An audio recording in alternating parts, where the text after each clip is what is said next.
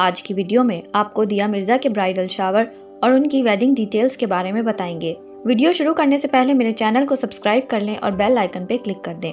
जैसा कि previous video में आपको बताया था कि दिया मिर्ज़ा 15 फरवरी को शादी करने जा रही हैं।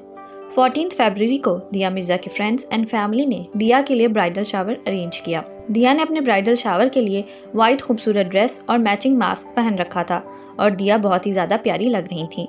दिया को पापेरेजी ने उनकी शादी के लिए कॉन्ग्रेचुलेट भी किया और दिया ये सुनकर ब्लश करने लगी। दिया ने अपने ब्राइडल शावर की पिक्चर्स और अपनी मेहंदी से सजे हाथों की पिक्चर्स अपने फैंस के साथ शेयर की हैं। 15 फरवरी से दिया मिर्ज़ा के शादी के फ़ंक्शन स्टार्ट हो रहे हैं। दिया अपनी डाइवोर्स के बाद मुंबई के बिजनेसमैन वैभव रेखी से शादी करने जा रही हैं। स्क्रीन पर आप लोग दिया मिर्ज़ा के वेडिंग वेन्यू और डेकोरेशंस देख रहे हैं। दिया अपनी क्लोज फैमिली एंड फ्रेंड्स के बीच शादी के बंधन में बंधेंगी। आपको दिया मिर्ज़ा की ब्राइडल शावर लुक कैसी लगी, हमें कमेंट्स में बताना ना भूलिएगा।